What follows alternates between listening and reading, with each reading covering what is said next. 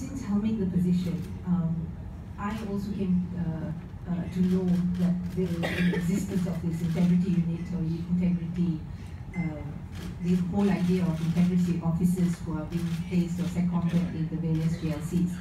It has um, had very little exposure, although it has been a very good idea because part of MACC is not just to um, take action and arrest people and send them to jail, but we are also uh, supposed to deal with preventive measures.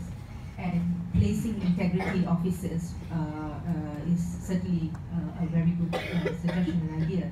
And the directive actually came from the Prime Minister in 2014 and 2015 onwards, uh, MACC have started placing integrity officers in various GLCs as well as government agencies and also ministries. Uh, however, I think despite the idea, I think we need to also strengthen the role of the integrity officers and also upgrade the level of the officers that are being placed in the various um, uh, GLCs. We note uh, it may have been used as a platform to send or transfer officers for various reasons, um, uh, uh, which I, I, shall not reveal. But um, it also we'll also have to keep a close uh, watch on our own officers. So these officers will permanently be there, and we will, uh, you know, do our rotation and replacement if there's any complaints uh, as such. As can and be, they can be charged. Yeah, it, it, really depends on what was the nature of the complaint, but not immunity per se. But they, on their own, would have actually uh, uh, taken on themselves to actually dilute uh, their position as a whistleblower. So definition of what's a whistleblower is important. People get confused. Uh, we have three types of people who come and complaints to MACC.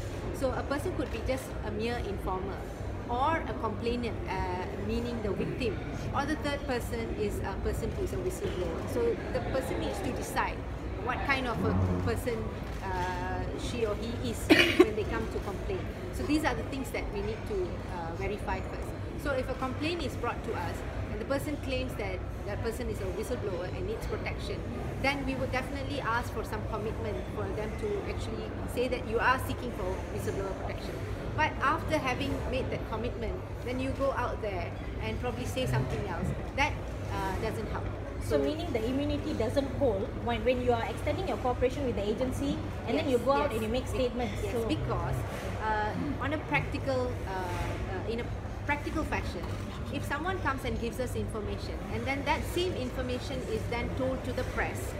Before MACC could reach tinggal pintu saja ah. this is the problem that we are facing you know? So we need to uh, understand the challenges of the investigation uh, investigators and also the enforcers of the law.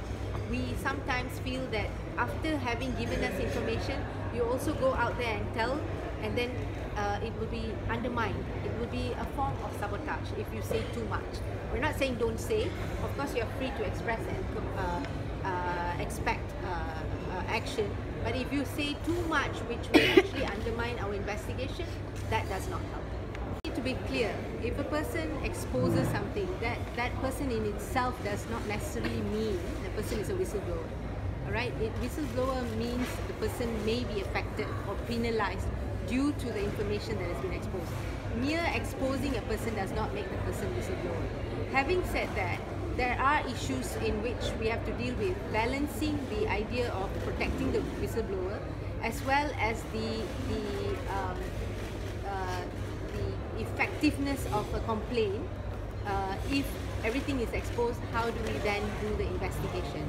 And also to understand that a person can be also defamed so it, uh, a person or a company or whatever can be exposed to uh, accusations or allegations which have yet to be investigated. So these are the things that we need to uh, take note first.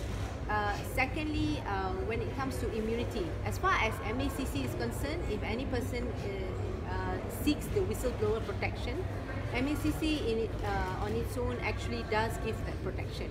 Um, and, and, and as far as the law is concerned, there are certainly um, certain gaps which we need to tighten up.